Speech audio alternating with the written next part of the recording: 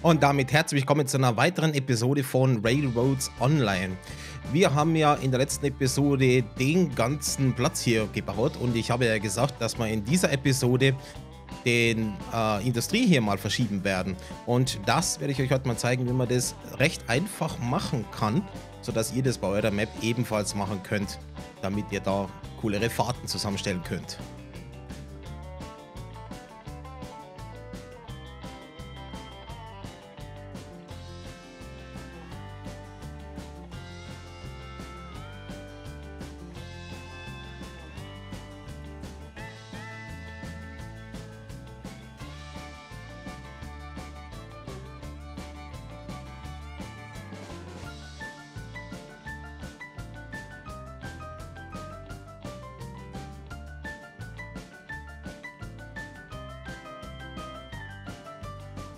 Dabei werden wir das halbwegs mittig platzieren und ein bisschen schräg nach oben ausrichten, damit wir oben mit einer schönen Kurve hier auf die Hauptstrecke fahren können, damit es dann halbwegs gut aussieht. Was wir jetzt hier dafür brauchen, sind einerseits die Koordinaten von dem Platz da in der Mitte und wir brauchen die Ausrichtung, in welche Richtung die Industrie denn eigentlich schauen soll. Dafür werden wir uns erstmal zu dem Platz hier hin teleportieren, mit Hilfe von Railroads Online Extended. Dazu macht man einfach nur einen Rechtsklick auf den Punkt, wo man die Industrie gern hätte und sagt dann Teleport hier. So, dann gehen wir mal kurz ins Spiel rein. Und da wären wir genau bei dem Platz. Das schaut eigentlich soweit gut aus. Wir haben gut Platz. Und jetzt schauen wir ungefähr in die Richtung, wo ich sage, das soll die Ausrichtung sein. Dafür könnt ihr hier Railroads Online Extended als Hilfe nutzen. Da zeigt er euch, in welche Richtung ihr schaut. Und wenn ihr da um, ja, so plus minus zufrieden seid, dann machen wir weiter, dass wir hier ein kleines Gleis bauen. Also ihr schaut, wir schauen jetzt hier nach oben. Und so passt es dann mit der Kurve jetzt bei mir hier. Sag, okay, so schräg will ich das haben. Wir gehen jetzt ins Spiel rein. So, also da nach vorne werden ein Gleis hier bauen. Und schauen, dass das Gleis von uns wegschaut, genau in die Richtung, wie wir die Ausrichtung haben will. Söderlein, ein bisschen fein einstellen. Und wir haben jetzt hier 66 als Ausrichtung. Einmal 5 drücken, ein bisschen noch hochziehen und dann schaut es gut aus. Und ab jetzt übernimmt wieder mein Original-Ich. Wir gehen jetzt nochmal in Extended rein. Schauen uns das an. Ja, ungefähr so rauf. Dann da rein. Ja, man könnte es vielleicht ein bisschen weiter nach oben machen von härtere Groove hinkriegen. Ähm, will ich das wirklich so weiterfahren? So und dann so da rein? Ja, ich mach's ganz leicht anders. Okay, das heißt, Track. Und so schauen, wie es aussieht. Das müssten jetzt, ja, jetzt sehe ich es wegen der Minimap nicht. Das ist natürlich super. Mal kurz ein bisschen weggehen. Komm, verschieb dich. 66. Machen wir 67. Gehen nochmal auf diesen Punkt hier hin, wo ungefähr die Mitte war. Und werde hier nochmal das Gleis so verlegen. Als Referenz. Upp. Werden das hier löschen. Gehen nochmal zum Startpunkt. Schauen wir das Ganze in Extended noch einmal an. Ja, ich glaube, so wäre ich glücklich. Sehr gut. Also 67 haben wir da jetzt. Wir gehen jetzt her, Facilities, wir haben so ein Telegrafen-Office platziert, ungefähr da, wo wir angefangen haben, dass wir auch hier die Industrie platzieren möchten. Okay, weil dann haben wir im Safe Game die Koordinaten von dem Gebäude und wir wissen die Ausrichtung von dem da. 67 Grad und Koordinaten von dem. Also, wir gehen jetzt her, Safe Game, sagen hier äh, verschieben 1 die speichern. Und gehen jetzt auf die Seite railroad.studio. Da müssen wir das Safe Game auswählen. Hier steht eh schon der Pfad. Mal öffnen, verschieben 1. Sehr gut. Was ich jetzt zusätzlich noch mache, einfach nur damit hier das mit dem Bauen ein bisschen einfacher ist. Ich gehe hier auf Tree Brush, mache hier mal kurz einen Rechtsklick und tue die Bäume hier in dem Gebiet entfernen. Ich werde sie dann wieder platzieren, keine Sorge. Aber das macht jetzt zumindest das Industrienverschieben ein bisschen leichter, damit ich sehe, ob das ungefähr passen kann. Wunderbar. Jetzt gehen wir auf Industries. Und ganz unten haben wir jetzt das Telegrafen-Office. Und ich gehe jetzt mal ganz kurz aus dem Spiel heraus. Also das hören wir durchgehend dieses Piepsen und das ist nervig. Und wenn wir hier auf Vektor klicken, haben wir jetzt die Koordinaten. Die kopieren wir. Gehen hier auf das Ölfeld, hier auf Vektor, kopieren die da rein. Ja, Spiel hat gecrashed. Das ist okay. Mach du nur. Tut's hier öfter. So, sagen hier speichern. Jetzt kommt die Industrie genau auf die Koordinaten von dem hier. Keine Sorge, das können wir dann trotzdem noch löschen. Und jetzt haben wir hier Rotation. Die ist jetzt auf 0 bei Ja, das ist die Richtung. Und das setzen wir jetzt auf 67. Es kann jetzt sein, ob... Äh, ja doch, eigentlich mit plus 67 müsste genau die Ausrichtung von dem Gleis haben. Sagen wir speichern. Laden das einmal herunter. Kopieren das in den Ordner rein, wo die Safe Games sind. Und starten Railroads Online. Da werden wir in Railroads Online, wir sagen Play, Host Server, geben da jeweils irgendwas ein wählen das Save Game aus und das ist Verschieben 1 Modified. Start Server. Und wenn wir Glück haben, dann passt es schon beim allerersten Mal. Braucht nur einen Moment, bis es geladen hat. Wunderbar. Da kommt es gleich rein. Ich hoffe es, bitte nicht abschmieren. Coole Sache. Okay, Industrie wurde platziert. Und die Ausrichtung ist jetzt perfekt zu diesem Plattform hier. Das kann ich euch beweisen. Wir sagen hier erstmal demolish alles. Es bleibt erstmal. Wenn wir jetzt hier... Okay, ich brauche mal die schnell gehen Mod. Attach. Dankeschön. Bitte finde mich. Also man sieht es, glaube ich, auch hier schon. Äh, Cheats. Enable Fast Sprint. Dankeschön. Wenn ich jetzt hier hinten hergehe, nehme hier das Gleis und ich stelle das auf 67 ein. So. Und das ist genau die Ausrichtung von dieser Plattform. Also hier geht es nach vorne. Nur kurz 5. Und wie ihr seht, der absolut perfekte Abstand hier zu den Plattformen. Das ist jetzt nicht so, dass das ein bisschen weiter nach reingeht oder so. Die sind absolut parallel. Und so lässt sich natürlich auch einfach bauen, wenn ich genau weiß, was die Ausrichtung von dem hier ist. Man kann natürlich, wenn man jetzt mal hier zurückgeht, wenn man jetzt bei den anderen Industrien hier baut, und man möchte die, die Ausrichtung von denen wissen, dann kann man hier bei Rotation sehen, was die für eine Ausrichtung haben. Teilweise haben die so eine Kommazahl mit dahinter. Das könnte man noch korrigieren, indem man hier sagt, okay, ich mache das auf 0. Dann bewegen sich die natürlich halt ein klein wenig, aber dann passt es. Zum Beispiel Logging Camp. Achso, das habe ich ja versetzt. Was ist denn bei mir noch original? Refinery 171.51. Da könnte ich jetzt das wegmachen, dann habe ich genau die perfekte Ausrichtung. Nur so als Tipp zum Bauen. Okay. Das heißt, ich werde hier erstmal mein Gleisvorfeld bauen. Eine Ausrichtung, das passt sehr gut. Wir machen dann hier so eine Kurve rüber. Noch da rein mit so einer Brücke. Und hier das Ganze werden wir extenden. Eigentlich kann ich damit direkt schon mal anfangen. Ähm, ich glaube, ich mache hier erstmal eine Gerade. So. Und eine Weiche nach rechts. Switch right. Ah, das ist schon zu spät.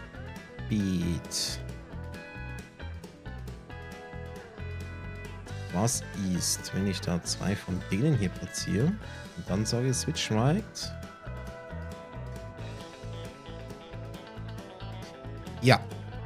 Nicht das, was ich wollte.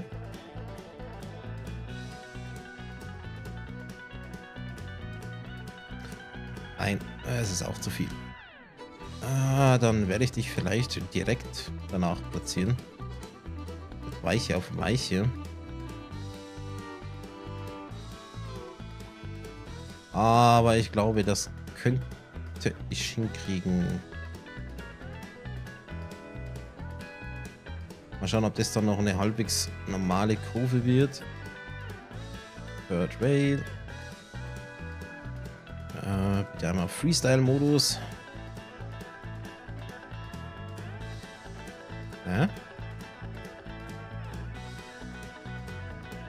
Jo, das mit der Freestyle. Das ist ja brutal enge Kurve hier, ne? Ja, gut, ist sowieso Bergstrecke. Und das ist eh auch das falsche Gleis. Was ist, wenn ich da gleich schon mal...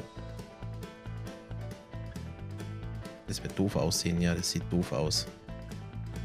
Ähm... Dann suche ich mir jetzt mal ungefähr den Radius raus, was es braucht bis dahin. Ah, da war das Gleis doch jetzt gerade. Gleis? 80 ist das hier.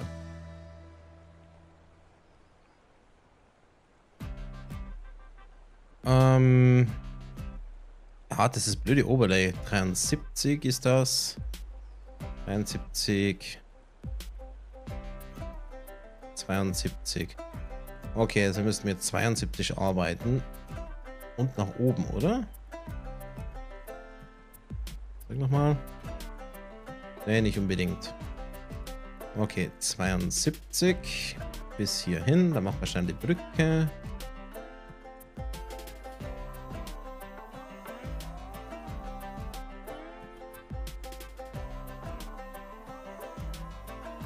Sehr gut. Und das einmal Auto verbinden. Dann müsste das halbwegs okay aussehen. Eine enge Kurve. Gut, dann hätten wir das. Und das ist dann das Anschlussgleis. Für die Raffinerie. Ähm, so. Ich gern gerade.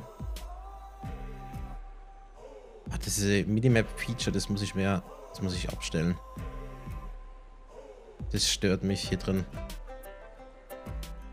Hm, naja, wobei, jetzt sehe ich gerade. Das ist mal ganz kurz testweise, äh, testweise weiterführen. Kommt dann hier so rein. Und da ist dann der Anschluss. Ja, doch, das passt. Da gehe ich dann mit Weichen dann hier so rein. Wobei andererseits, ich glaube, ich muss das ein bisschen mm, anders bauen.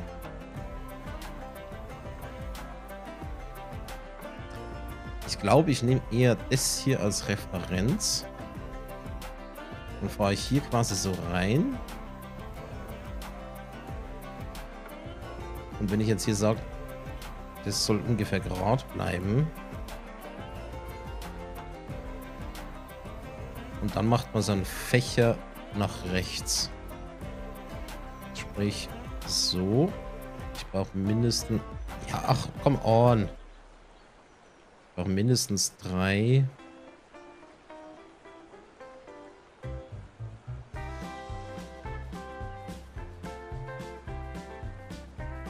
Weil wir haben ja hier drei Plattformen. Einmal da, einmal da und einmal da unten.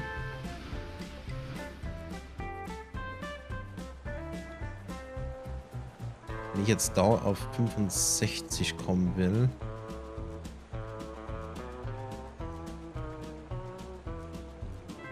Ganz kurz gucken. 80.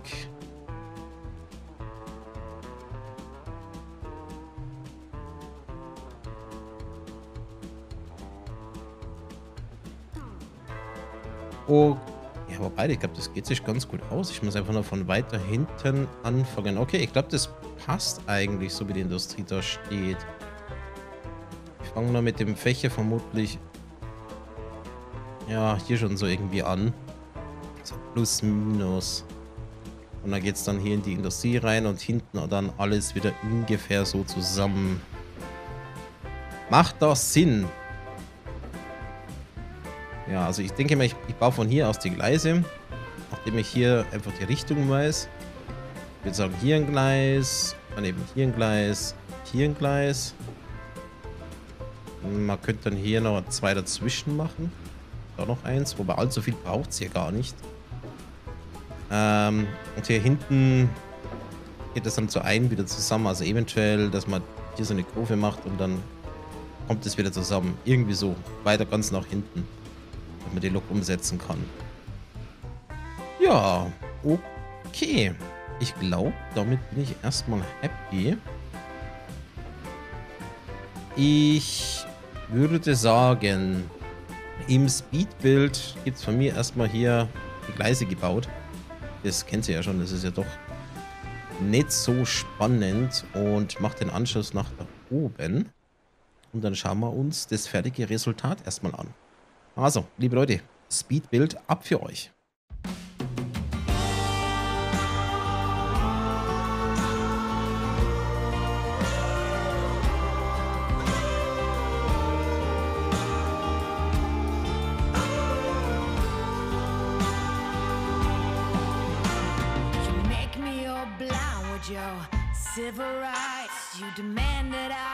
I your name. Walk ahead.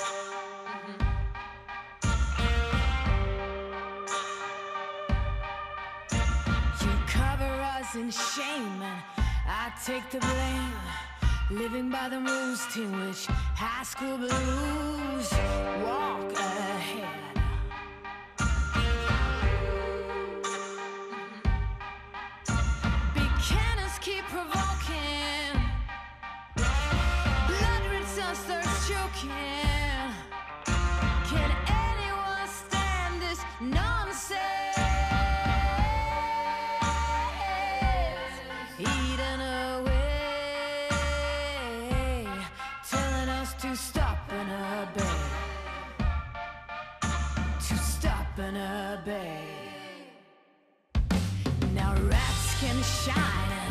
Jokers got silver lining. Holy Mary sings songs in the wet rain. Walk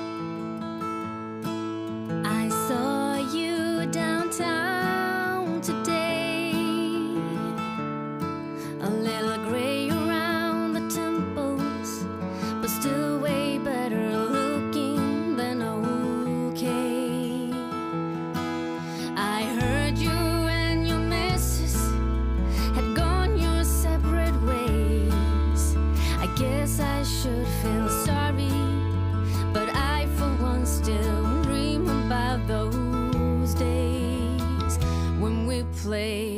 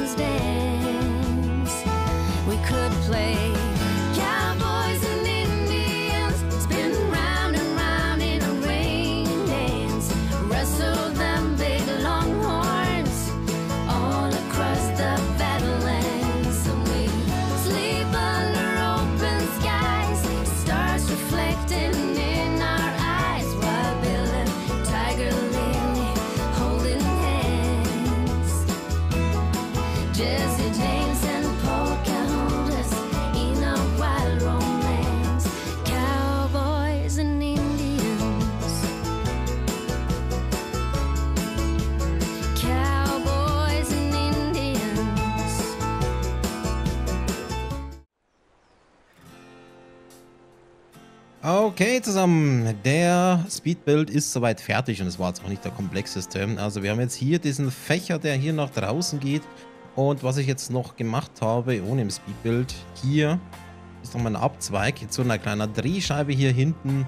Da kann man die Lockdown drehen und ja, eben hier der große Fächer hier zum Ölfeld. Also einerseits hier diese Plattform hat halt jeweils äh, zwei Gleise, eins zum Reinfahren, eins zum äh, Umsetzen. Auch hier gibt es hier hinten eine Drehscheibe, damit das hier unabhängig läuft. Und da hinten haben wir hier diese Dreierweiche, wo die Ölfelder, also die, Ölfelder, diese, diese Pumpstation verbunden ist auf beiden Seiten. Und hier das dritte Gleis nochmal als Ausweichgleis. Also eines kann quasi immer besetzt sein. Zweiten fährt man dann rein und da kann man dann bei einem umsetzen. Je nachdem, wie man es macht. Aber umsetzen muss man so oder so. In meiner Karte ist es nicht so, dass man einfach nur umdrehen kann. Rangieren ist angesagt. Ja, ich weiß noch nicht, ob ich das so lassen werde. So unzufrieden bin ich damit jetzt gar nicht.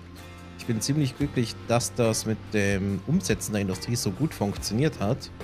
Und äh, ja, als nächstes glaube ich, wäre mal Multiplayer angesagt, weil hier die Industrie gehört ähm, beliefert. Und zwar könnte man dann richtig schönen langen gemischten Güterzug machen. Also das wäre irgendwie schon ziemlich geil. Vor allem auf der langen Strecke, vielleicht mit Doppeltraktion. Oder man fährt gerade mit zwei Loks. Und auch die Fabrik muss beliefert werden. Also jetzt gibt es einige Fahrten zu tun. Ich glaube, Raywards Online-Stream muss demnächst passieren. Aber erst nachdem diese Folge hier rausgekommen ist, dann werden wir einen Stream dafür planen. Würde ich jetzt mal sagen. Weil das ist ein bisschen viel Arbeit, was jetzt kommt. ja, gern eure Meinung dazu. Wie ihr das so findet und vor allem, was ihr von der Methode hält, wie man die Industrie versetzen kann. Weil ich finde, so ist es ziemlich einfach und spart ein bisschen Zeit.